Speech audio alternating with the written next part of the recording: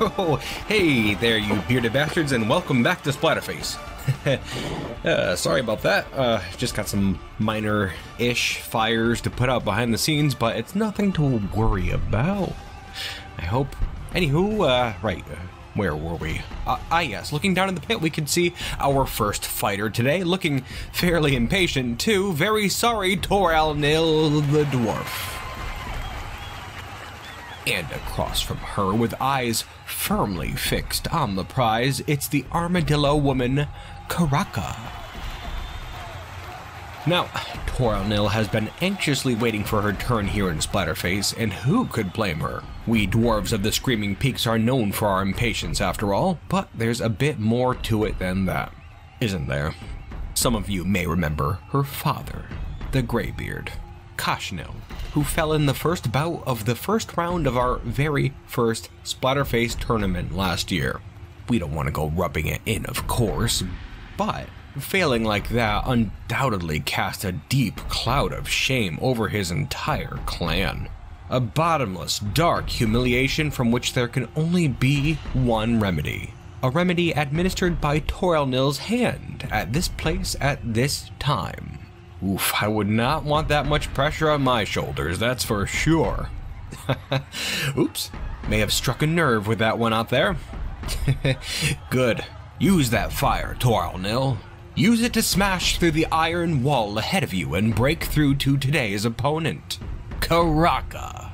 This feisty armadillo woman has rolled in from across the eastern wastes and stands here today as a representative of her dying realm.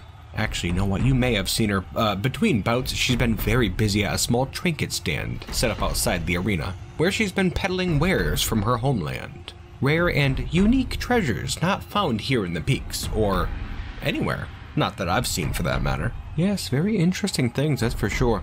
Maybe when this tournament's over, I'll have to go checking that place out myself, eh? If you win today, that is.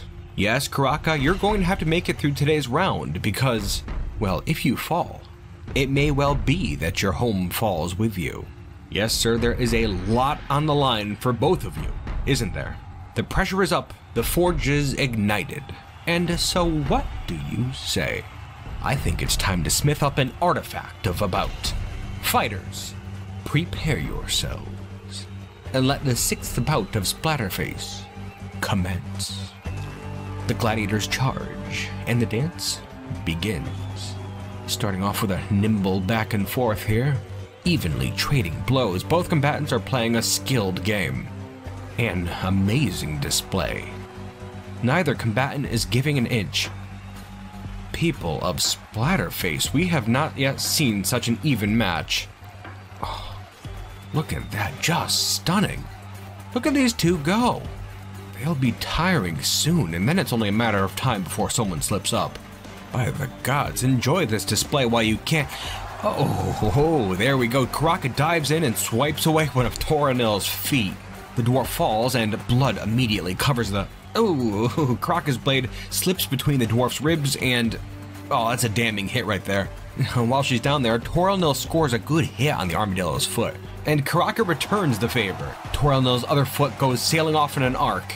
The dwarf is losing a lot of blood now. She had better work quick. Now, this is an odd sight right here. Toralnil is still doing her best, though her blood is draining out in torrents.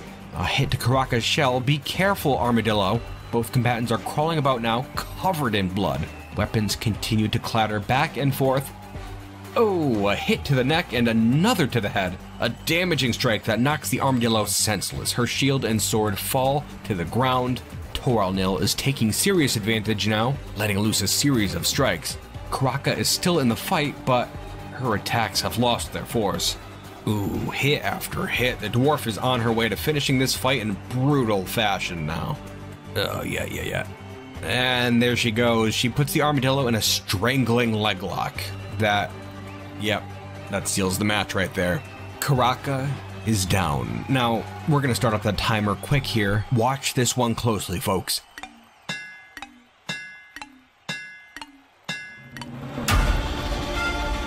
And there we go.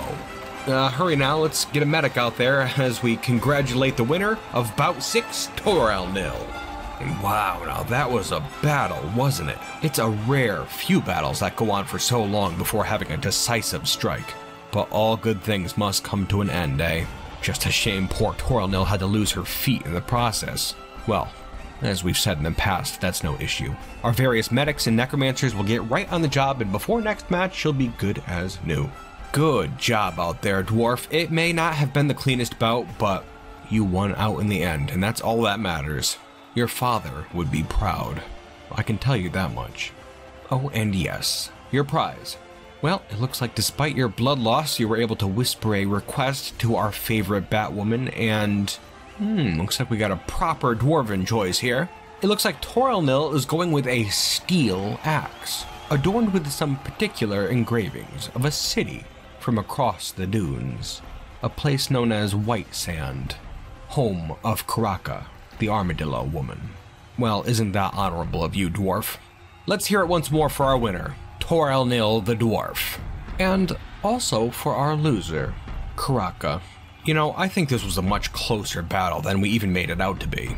Caraca was able to chop off both of Toralnil's feet, as well as give her a nasty cut in the belly. I'm actually pretty shocked the dwarf was able to survive the bout. Yes, the armadillo woman put up quite a fight. Well, at least you've completed your quest. In a way. Gentle armadillo woman, we of the arena and those now remembered people of White Sand thank you from the deepest recesses of our hearts. Rest ye well in the Hall of Legends. My bearded bastards.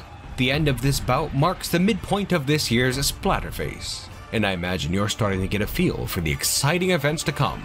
In three days' time, we'll have our mid game celebration, where we'll be introducing our awful, e exciting new sponsor, peek in on our gladiators to see how they're faring, and we'll also bear witness to a unique battle that for now will be kept as a bit of a surprise. Look forward to it. But for now, stay excited, stay bearded, and don't go far, because more Splatterface is soon to come.